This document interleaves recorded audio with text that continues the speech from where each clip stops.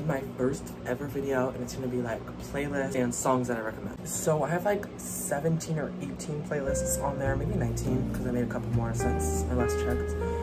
Um, so one of the songs I really, really, really recommend is uh, Future by Paramore.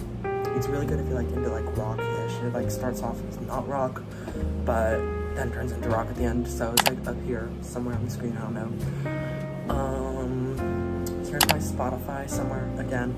If you want to follow it and check out the playlists. Yeah. Another artist, like one an artist, I'm gonna name like a couple artists that I really recommend. Um, Phoebe Bridgers. She has like really depressing, sad ass music. But if you like that kind of thing, then she's definitely there. Taylor Swift. Um, like a lot of people listen to her anyway, so at least one of you, if there is one of you watching, listens to her. Um,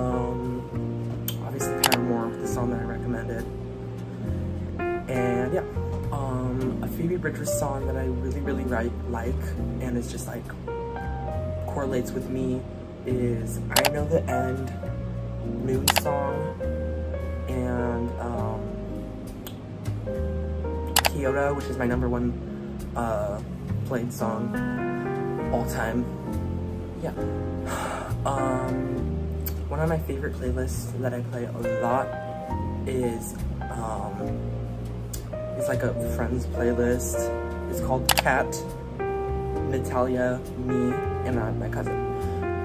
Um, it's not like exactly what it's called, but it's like called that. Um, it just has like songs, like our favorite songs on it. It's like a 12 hour playlist, but there's a couple songs in there that I really, really like. Um, and I also got interested, introduced to a couple artists from that playlist. So I'm a really big Taylor Swift fan.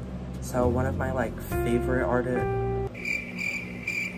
one of my favorite albums that Taylor Swift has is uh, Lover, and I really like Red Taylor's version. Also, she announced Speak Now Taylor's version, so I'm really excited for that. And so now I'm just gonna put like a video over here of like songs, playlists, and just like my overall like st statistics for Spotify. Um, yeah. But this being my first video, it's very, very short.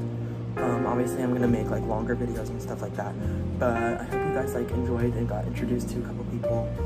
Um, yeah. Um, see you never.